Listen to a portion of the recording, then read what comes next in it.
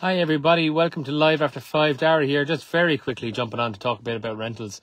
So just had a, a quick little take on there in 50 Shannon Court. So that's going to be coming to market this week. So I also want to talk about St. James's Gate number 25 is available for rent at the moment. It's one bed, um, one bathroom, um, with a lit kitchen slash diner area, which is in a, a good part of town where you're, you're close to the train station, you're close to the quay, you're close to the city centre and likewise, Shannon Court here, which is not too far away from St. James's Gate. It's also very close to the city centre as well. Um, these are two rental properties that both going to be um, active this week. St. James's Gate already is. Shannon Court will be joining it soon if you keep an eye on our pages.